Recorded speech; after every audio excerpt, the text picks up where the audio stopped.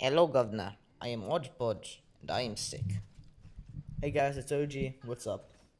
Sorry about the accent. I was just playing with some Russians, and you know what that does to me. Makes me kind of go all Arabian. It's a little weird. Oh well. So, today is a good day and a bad day. It's a bad day because I'm sick, and being sick, it sucks. It really does. I mean, you freaking you feel crappy, you play video games crappy, life is just freaking crappy. But it's a good day because I fixed my HD PVR. After freaking uploading two weeks of shitty videos, I figured out the problem, I fixed it, it will not happen again. I know you can be saying right now, oh gee, we see that the problem's gone, but at the beginning of the game it was lagging. Well, here's the secret the game itself was actually lagging. It wasn't the HD PVR. How wonderful is that? Well, it's kind of wonderful. I mean, the game lagging is never good, but hey, what the heck? Two little lag spikes, not not gonna kill anybody. And the fact that the game itself is actually gonna be uploaded and look at what it actually is, and people can actually see what this game really is, and not just how freaking crappy it looks in my videos. It's gonna be wonderful. So that being said, I have deleted the pieces of poop, I guess, or lard, the lardy videos that I had uploaded with the crappy, crappy settings. This is because, I mean, YouTube is basically a giant popularity contest, and having those videos on there is not going to help our cause. In fact, we had like six people, six whole people, unsubscribe because the video quality, and I mean, that's just not going to happen again. So don't worry about it. No more poop. If we have issues, instead of freaking, um, instead of freaking uploading I'm just gonna maybe take a week off, two weeks, just to get everything fixed before we go in. I mean, I was about to take this thing into the Mac store, and that is never fun because those guys just like stare at you and they like go through your computer and see all the awkward things you do. Like they'd freaking run into unicorn layers and everything. It'd be bad. But anyways, since I deleted the video, yeah, this is just some more game lag. Don't worry about it. It's not the HD PVR. Don't be like, oh no, OG the period. It's coming back. No, it's fine. It's just the game. So what was I saying? I was saying something important. It was important. Oh yeah. So I have decided that since I removed those two videos, I no longer have what is known as a review of Gears of War Judgment. And that is a problem because, I mean, if you're my subscriber, I shouldn't make you have to go to someone else's video to know whether or not you should buy the game, so why not? So this video is now becoming dedicated to making a review on the game. So I'm going to talk about two main things when talking about whether or not you, as a person, should buy the game. I'm not going to tell you if you should buy the game or not, but I'm going to tell you, judging on like what games you play and your play style, if you should buy this game. So it's been known throughout generations that if you play Halo, and if you're a big Halo fan, even when a Halo game can go downhill, Gears is just for some reason Halo players play Gears. I don't know why. It's just kind of interchangeable. Excuse me. I'm gonna sneeze. It's gonna be bad. It's gonna ruin the entire video. pineapple. Okay, good. If you say pineapple when sneezing, this is a tip and trick from OG. You will not sneeze. You saw there? I said pineapple. Completely canceled the entire thing out. But anyways, what was I saying? Oh yes. So if you play Halo, you'll probably like Gears. So keep that in mind. Now, another thing you gotta think about is do you want to play campaign? Because if you're buying this game because you really like Gears of War 1, 2, and 3's campaign, don't. Because this game has the most retarded campaign in the world. They took out Horde mode, and it seems that they took out Horde mode so they could make campaign Horde mode. Because all it is is a bunch of freaking flashy looking grounds. And when I say grounds, I mean the floor. The floor just looks flashy, and then there's like a couple of levels. And then you sit on walls and freaking fight hordes of enemies that are incredibly challenging, actually. It's freaking the most challenging campaign ever. It's just also the most boring. So that is kind of annoying. In fact, I haven't even finished the campaign, man. It's that bad. It's so freaking crappy. Another thing. Oh yeah. So if I'm grading it on campaign, I would give it probably a 1 out of 7. I know, grading things on 7, what the heck. But hey, 7 is a sexy number. Don't let anyone ever tell you otherwise. So yeah, so 1 out of 7. It's not really very good It's actually dreadful. I can't even finish it. I mean, it's freaking terrible.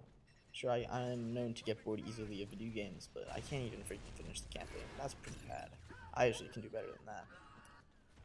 So now I'm going to talk about what everyone wants to hear, and that is should you get this game because of multiplayer? And the answer is honestly probably yes. This game's multiplayer is so addictive, and though there is only seven maps today, there's seven maps, they all are very fun and they're just very well put together, and many of them are interactive.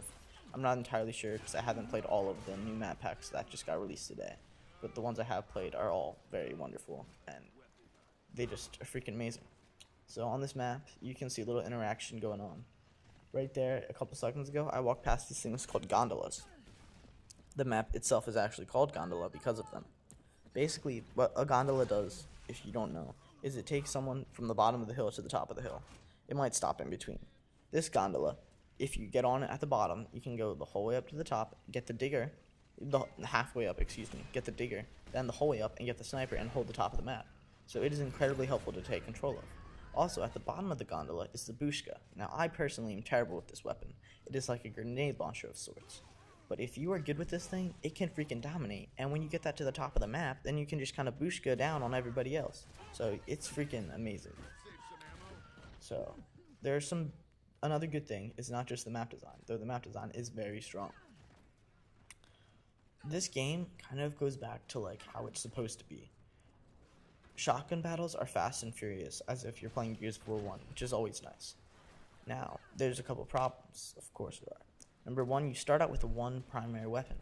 This means that people with who use retros and sawed-offs can't play it, which I think is wonderful, but some of you might hate on it, and that is also why, if you look on GameStop or any of like the gaming HQs and you read reviews on this game, they'll be very negative.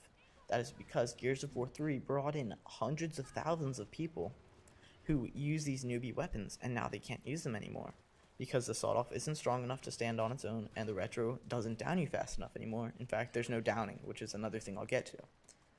So, that's important to remember. If you want to play this game, take in mind that I'm a competitive gamer. That's another thing. I don't play games casually. I play Halo, and I play freaking Gears, and I play them com- competitively. I used to do a lot of MLG stuff with Halo. I never really got that far into it with Gears, but I have been on a few teams. So everything I'm going to be saying is more going to be relating to the MLG side of the player. So if you are competitive, that is another reason this game is great for you. So problems, because of course every game has problems. Nothing is perfect. Nobody's perfect, just like Hannah Montana said all those years ago. The, number one, meleeing. I melee so much in this match, it is ridiculous.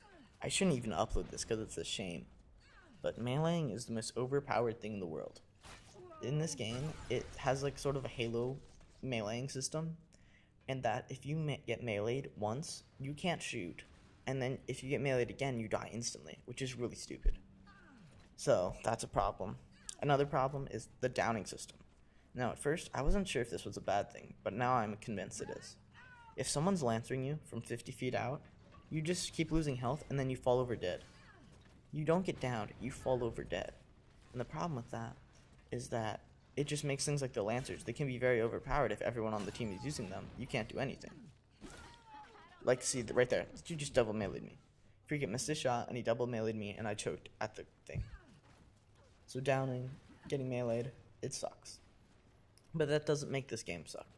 This game, like I've said before, is very enjoyable, and it's it's just I'm gonna say it's great because it is. It's great. It's a great game. Battles are intense, the games are close, and it's freaking fun. So if I had to judge this based on multiplayer, I think I would easily give this game either a 6.5 or a 7 out of 7. That is because it is fun, it is addictive, and honestly, I just want to go hop on and play it right now. Even though I feel like crap and I know I'd play terrible, it's just so fun that it's freaking. You just want to play it all the time. And sure, you can hate it. You can have a love hate relationship with this game, and many of us do. Like when you join that lobby and everyone's throwing frag grenades, which are retarded, and you just keep dying. Of course, no one's gonna like that, but I mean, it's just overall this game. It's freaking almost perfect. It really is. So basically, that's all for the review, guys this game. If you you should buy this game if you like competitive gameplay. If you don't got nothing to play, I mean, you might as well give it a try. Because if you're willing to freaking try out the Gnasher and try to get good at wall bounce battles and all this stuff, you can always play with me and Ryan. We're, we're trying to get a team together anyways, because it's kind of lame to play just me and him. So, I guess I gotta conclude this video, this beautiful first video that actually worked in like eight months. Just remember, guys, when thinking about whether or not to get this game, maybe your best option is to wait for the price to drop. Because, hey, when it goes down to $40, I guess it really isn't that waste of money, even if you don't like it. Just remember that this game is mainly for competitive gamers. Casual gamers aren't going to have the, too great a time in this freaking wonderful piece of master, master gaming wonderful beauty. So anyways, if you'd like this video, please leave a like. It really helps out our channel. If you want to comment and talk about your penis, do so. Ryan will answer you. I won't, but he will. And just remember, guys, if you think animals should wear protection, please subscribe.